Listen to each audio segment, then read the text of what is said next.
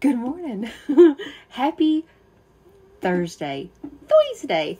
Um, quick, quick, quick eye look today. Um, I'm going to use the color Leo because it's orange and it goes with my shirt. But it doesn't look that crazy orange on. It is such a pretty color. It's just a nice warm shade. And I know a lot of people think, oh, I need cooler eyeshadows. Try it. You'll be surprised. I like the cools and the um, warm shadows. And I like to mix them. Okay, so that's Leo. See how pretty that is? Even if you just wear that by itself, it's really pretty. I'm having a little bit of an eye allergy today. Nice. Um, and then we're going to do Riviera. I love Riviera.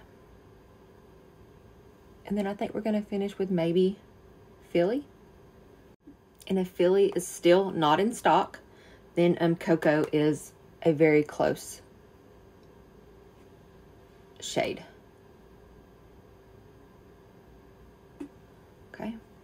Put a little under the eye, and then we're just going to do a little bit in this outer corner. Just small little circles. I mean, there's barely any on my brush.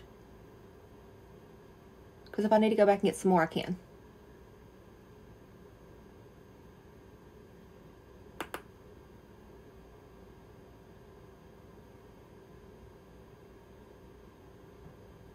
Then I'll go back and forth and kind of mix that in with the Leo.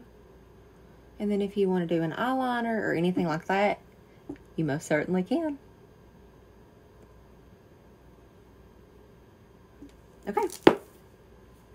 Easy enough.